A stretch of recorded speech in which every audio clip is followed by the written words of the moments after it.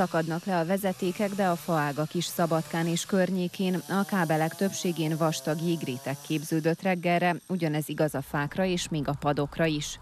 A vasárnap reggel óta tartó esőzés olyan vastag jégréteget képzett a vezetékeken, hogy azok nem bírták a terhelést.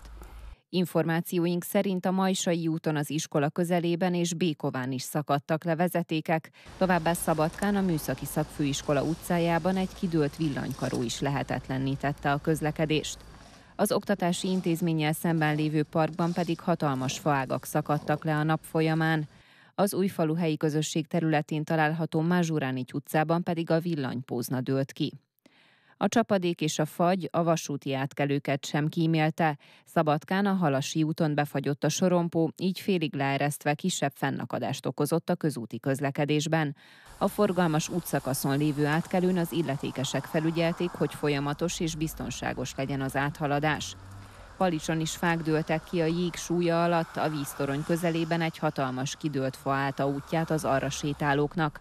Azonban nem csak ez volt az egyetlen fa, amit megviselt a nagy tömegű jégréteg, több fa is kicsavarodott a környéken.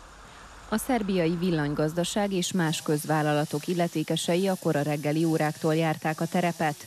Tűzoltókat is bevetettek az utak megtisztítására és a letört nagy faágak eltávolítására.